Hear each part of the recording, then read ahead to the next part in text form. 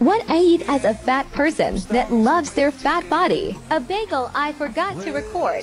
Breakfast that my sister made. A protein shake. Porca de Oatmeal A corn dog from All Vegan Frank. And fries. Part of a grilled cheese. Spam musubi. Love you, bye. I want to show you something cool about my pants. You see, these are the pants I used to wear when I was at my absolute fattest, back when like I wasn't losing weight and I was eating a ton of junk food. You remember me, you know, 575 pounder. You know, ah, gotta take that off. You know, don't even worry about that. But uh, got all this room in them, you know, and like, look how high I can pull them up.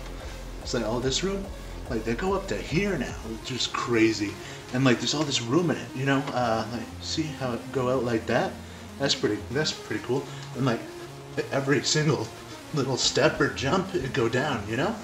So like these are quite loose. Like these are some of the Like the legs have gotten tighter though, because my calves have gotten bigger. You know me, cuff key. Look at these puppies. Look at them. I used to not be able to hold my leg up like that too.